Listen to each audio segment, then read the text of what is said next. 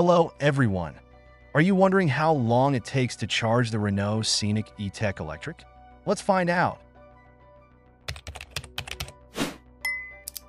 The Renault Scenic E-Tech Electric is a family-friendly electric vehicle with a 60 kilowatt-hour battery, offering a range of about 243 miles or 391 kilometers. Charging the Scenic E-Tech at home with a level 1 outlet can take up to 30 hours for a full charge. A level 2 home charger reduces this time to about 8 hours. The Scenic E-Tech Electric also supports fast charging, allowing the battery to charge up to 80% in around 30 minutes, adding approximately 194 miles or 312 kilometers of range. This flexible charging setup makes the Scenic E-Tech a practical option for families who need an electric vehicle with ample range and convenient charging options.